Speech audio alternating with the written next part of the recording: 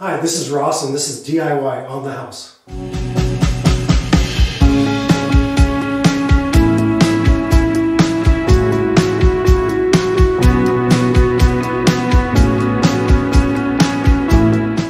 Today I want to show you how to replace a bathroom sink faucet. Um, we're replace the old uh, uh, polished uh, brass faucets with these new uh, stainless steel uh, faucets from uh, Delta and also show you how to replace the stops and supplies that are underneath uh, the vanity. And that's the, that's the shutoff valve. Uh, these have a old corrugated type uh, uh supply line which tends to crack when you uh, remove it. So we're going to replace that, put on a flexible line and everything will be awesome. So the first thing you need to do is to shut off the water to the house. Um, and that's because we're replacing the stops. So uh, when we undo those, we're actually going to have open pipe. So the water needs to be uh, shut off and drained. And uh, we'll show you how to do that. And just, I've already got the water shut off, so it's just to trickle down to nothing. Okay, so the first thing we're going to do is once we have the water drained, to crawl under the vanity here and we're going to remove the stop. I'll go ahead and remove, uh, change out both of these. This is the corrugated line I'm talking about. This stuff is gets very brittle over time. So what you're going to need, you're to need some uh, adjustable channel lock wrenches type and then also some uh, adjustable wrench, uh, crescent wrench type. And these are crescent. So first thing I'm to do, we're to, these stops are by chance, they're uh, compression style. What I mean about compression is that there's a, a back compression nut on the uh, stop itself and uh, that uh, it's got a and it has a brass ferrule in there. This brass ferrule slips over the copper pipe, which is half inch, and uh, the nut then is followed behind. And when it's put on, it actually compresses onto the copper, and that's what keeps it in place. So what we're going to do, I'm going to grab on the back here of this, stop on the back compression nut, and grab onto the body of the valve, and I'm going to loosen that back compression. And this is where I need the bucket down below, as you'll see. We'll start getting some water coming out. Okay, so that back nut is now loose. So I'm going to wiggle that and start breaking that loose on the pipe. And there's our water. Okay, so the next thing we're going to do, since these compression nuts are typically probably 99.9% that's all threaded the same, um, we don't have to put a new nut and ferrule on. We'll use the existing since it's already set. And then I take some, uh, it's pipe dope, it's a thread uh, sealant.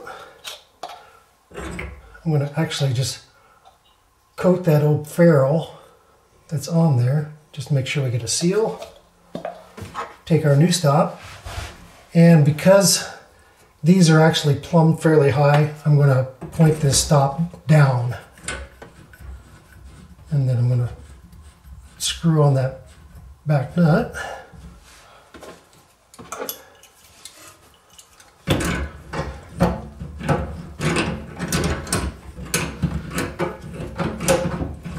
Once we get once it starts to to compress, you can feel it. So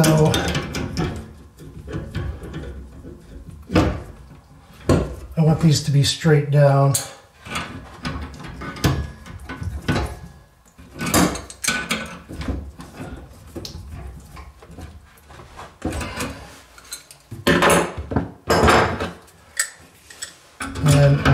go it down now.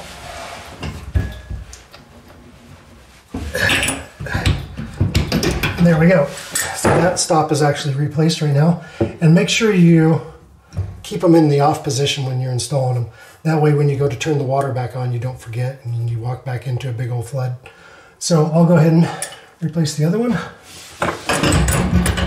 Okay, so once the uh, old new stops are replaced, I went ahead and removed uh, one of the old stops and supplies. These are the ones I'm talking about. It's got kind of a corrugated look to it and uh, rubber up top.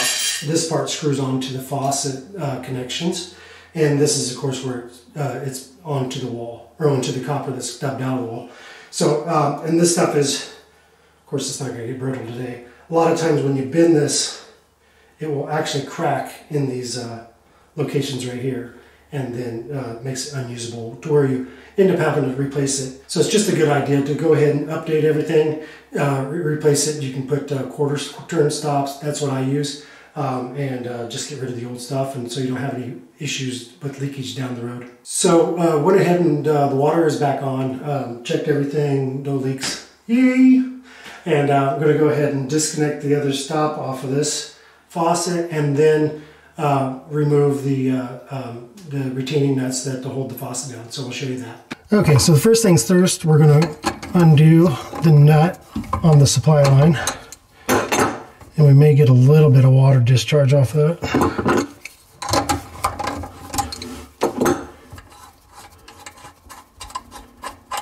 So we're gonna bring that off and luckily there's very little. Now the retaining nut on this is actually up here at this location. It's going to go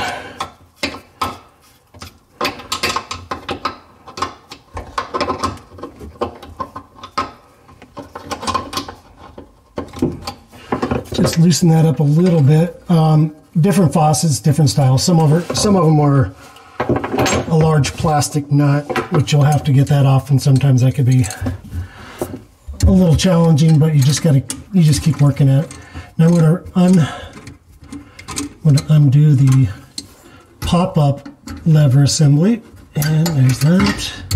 Now that everything is disconnected from down below, I'm gonna pull out the uh, pop-up lever and work the old faucet back out. Okay, I'll put that to the side. And you can see that does leave, um, especially on culture, culture marble, it leaves a, a discoloration around it. So uh, sometimes you can't get that off just because it's it's either um, been covered up for years and just uh, you just got to work at it as much as possible and just have a you know a low forgiveness if it doesn't actually come out of the uh, culture marble. So spray that down with a little soapy water. Can feel a little bit of hard water where it sat there. Um, I use this uh, hard water stain remover. It's called BioClean.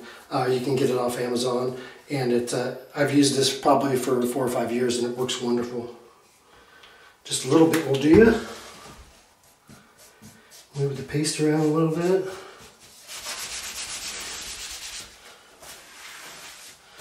There we go. Okay, so we'll go ahead and uh, unbox our new faucet. This is a Delta, and I like Delta a lot. Um, they're a great faucet, a great company to work with if, you, if uh, for warranty work as far as getting parts. So this one actually has uh, supply lines built into it, so we don't have to use supply lines that uh, have to connect below. Now because this is three hole, we'll go ahead and use this base. Uh, so this this is uh, this faucet is either three hole or single. We'll put our base on. Okay, line that up. And some, some people do put putty between here and the top of the, the vanity for seal. I don't do that. Um, I've seen it more times than not. Uh, when you do that, it stains this culture marble to the point where you actually cannot get rid of the stain. So I don't do that. Um, having any issues. If you bring it down tight enough, it should seal just fine. Okay, got that in place. So do the hardware on it, and this will actually slip up like this. This will be on the underneath side, and then we'll put the retaining nut on and screw that in tight. Okay, so what we're going to do, we're to take the bracket and install that, put the retaining nut on, and they gave us a handy dandy little tool here to tighten the unit up.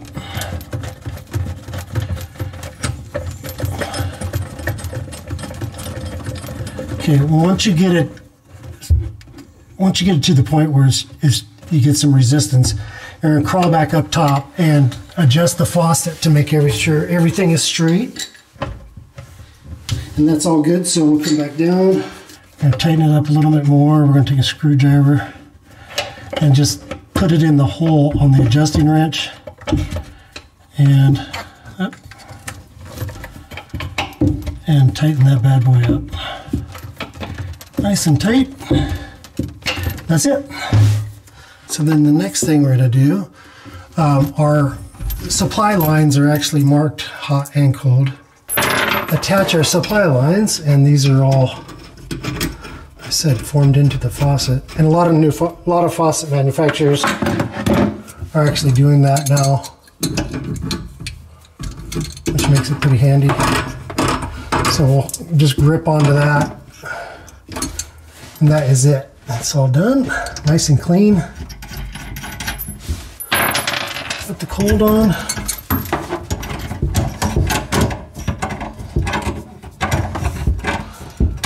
Okay, that's it. Right, so I left the drain attached um, so I could test this. So I'm just going to go ahead and turn the water back on.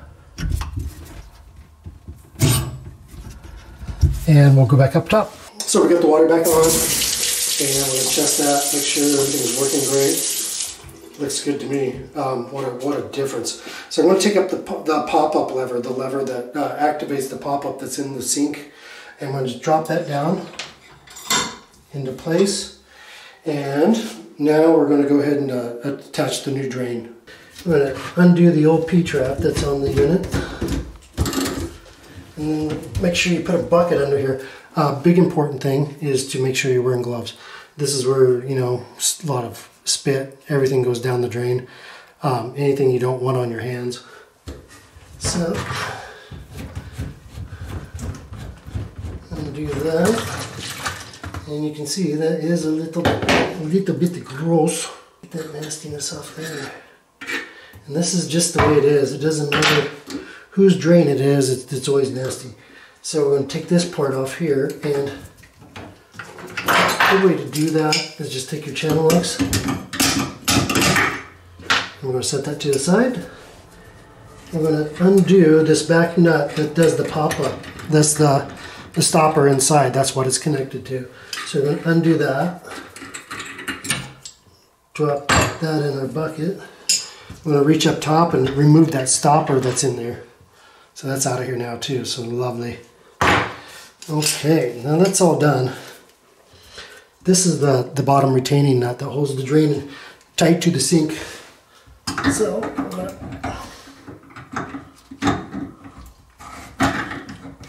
loosen that.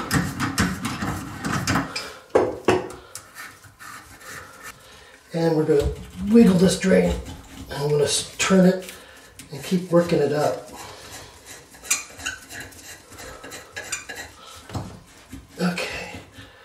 All right. So uh, next thing I'm to do, I'm going to grab onto this one with pliers, but we'll move up top to show you exactly how to get that flange off. Okay, so I've got my lower pliers that are going to go onto the drain assembly down below. I'm to grab onto that. So basically I'm just turning that like this. I'm going to take a small pair of pliers, grab onto this flange.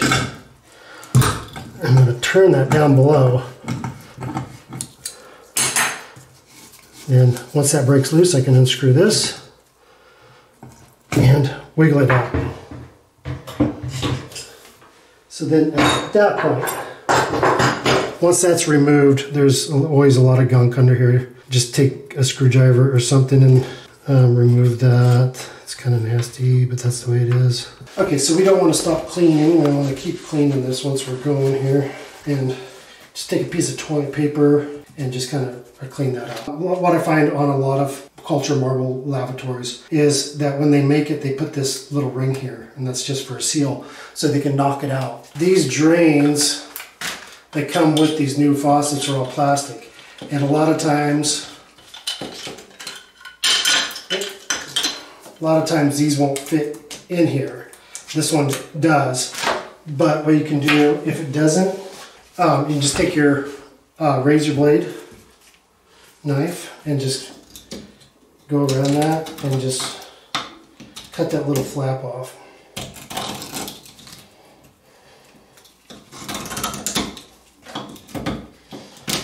just drop right into your bucket down below. Let's get that done. We're going to take our BioClean You can see there was actually hard water deposit right there. And that's just taking it straight off. And then clean that off. So we can get ready for our seal. Okay, next thing you're going to do is take your putty, and that's just regular plumber's putty. And then you're going to just get that at any hardware store, kind of roll that into a cord. And we're going to work that around our top drain flange. When that's done, we're going to just put that in the sink. Just like so. So now we're going to take our drain and get it ready. So move this down so I can get some threads so I can screw it onto that. Okay, one important part, now, since they changed these over to plastic, these threads are so coarse that they will leak. Um, so what I do is I, I use my thread lock or pipe dope, as plumbers call it.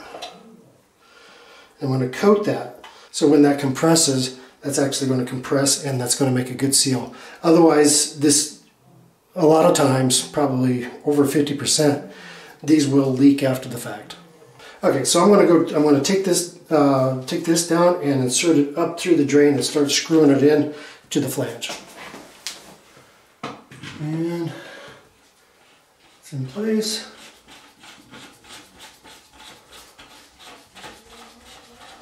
And it's stuck. Okay, so we'll work down below. So the, the connector that uh, connects onto the pop-up rod, um, that needs to be actually facing directly to the back. And don't worry, it's not messing the putty up, so that's right there. Now I'm going to start taking this nut and tightening that. That's going to compress the plumber's putty and make a great seal. I'm going to take my pliers. Um, at this point, you can't. You can try to do it by hand, but a pair of pliers is easier. You, you go very, very lightly because it is plastic. Once you feel some decent resistance, stop right there. And I want to wiggle this around. I can't wiggle it. So we're nice and tight. Okay, since we got that in place, we're going to go ahead and we'll put our nut and seal back on and clean that off because it was pretty nasty. So your nut goes on first. Of course, the threads go to the bottom. And then we put the seal and the bevel, the small part of the bevel goes to the bottom and the big to the top. And the reason for that is because it, lands in the P-trap like that. I see it, I see that backwards quite a few times. And uh, so and that won't give you a good seal. So push that out. Move the P-trap into position. Get that top nut loose and other nut loose that goes to the wall. And then hand tighten that nice and tight. And that's it that off. So the drain is connected. We just need to hook up the pop-up assembly. This is the rod that's going to actually, inside that drain, it goes like this. And it, this rocks up and down on a cradle and that makes that pop-up assembly or the uh, pop-up drain uh, go in and out of the out of the drain itself. So it's just like this. So what we're going to do is take this back nut off. There's actually a seal on this one. It feels like that seal actually fits yep, into the drain. I'm going to take this nut and put it like this. So that's, that's the way it's going to work like that, rock back and forth. So I'm going to take my uh, stopper now. When I pop that in, I'm going to align these two. It's hard to see what I'm going to be doing because it's two different locations. But I'm basically inserting, this inserts into the drain. This rod will go into this and then I'll screw down this nut and that's what will take care of everything. So I'm gonna go ahead and drop that in. Okay, I'm gonna insert that rod in. I'll lower my drain into the up here and that's good. And you can hear it's all working fine. Okay, so the last thing, and we're just about finished. So we have the rod that's coming down from the top of the faucet that you know, when you pull it up or down, it triggers the pop-up drain to uh, either go up or down. This is the rod that connects them, and this comes in different designs, but they're all the same. Uh, the, the rod that is for the lever will go through here, like this, and then this will actually fit onto the lever that we just did with the uh, drain attached to the drain. So this is a little keeper that you'll put this on the rod for the drain first. You'll pinch it and then install this on. It's kind of complicated, but it also show you in the directions on the faucet. Um, and then you'll actually install that and then let go, and this will keep the rod in place. Okay, so I'm to go ahead. Like I said, I'm going to fit this, and this is a little tight because this rod is a hair too long. I'm going to fit that in there. I'm going to kind of eyeball it to where I want it. So I'm just going to go ahead and pop it in this hole here. And then I'm going to take the little clip and I'll work that onto that rod as well. The rod is a hair long. I'm going to compress that clip. Okay, so now that this is on, you can actually see how this clip attaches. It's on either side of the of the lever here, of the lever or the extension. I'm going to bring up the rod from the faucet and just slip that down in the hole. Okay, and everything is in good place.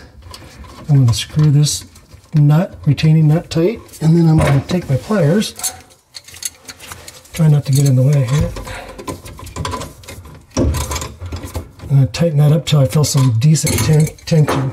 So now this is a working lever. Okay, once we got the drain connected, uh, we're going to go ahead and make sure the lever is working properly. If, if it isn't, just go ahead and readjust it down below. Um, and sometimes it just takes a little fine tuning to make sure everything's working right. And then we test it, make sure it holds water, and it does. So we're all good to go. Um, and you can see the contrast in the two faucet designs, you know, the update um, with the stainless. I, I love stainless because it just it doesn't show any uh, water spots at all. Uh, I hope you were able to follow along, and, and if you have any questions, let us know. Um, you can just uh, through the comment, and uh, we appreciate you watching. And uh, if you liked the video, give us a thumbs up, and uh, thank you for watching DIY on the house.